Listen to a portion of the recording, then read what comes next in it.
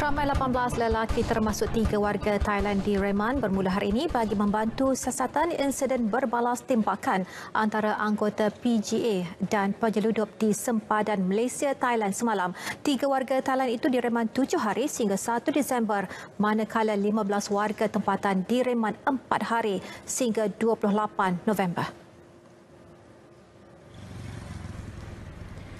Perintah reman dikeluarkan penolong pendaftar Mahkamah Magistrate Kangar Monica Joseph Gaisa. Kesemua suspek berumur antara 19 hingga 37 tahun tiba di mahkamah kira-kira pukul 8.50 minit pagi. Mereka ditahan polis malam membabitkan dua siri tangkapan.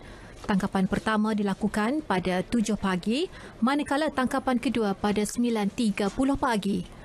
Dalam insiden pukul 3.10 minit pagi semalam, Korporal Baharudin Ramli, 54 tahun, terbunuh manakala rakannya Korporal Norehan Tari 39 tahun cedera parah di perut apabila berbalas tembakan dengan sekumpulan penyeludup di lokasi kejadian kira-kira 600 meter dari pos kawalan TS9 di Padang Besar. Korporal Baharudin dari suku kaum Semelai meninggal dunia di tempat kejadian. Korporal Norehan pula kini dirawat di Hospital Tuanku Fauziah Kangar.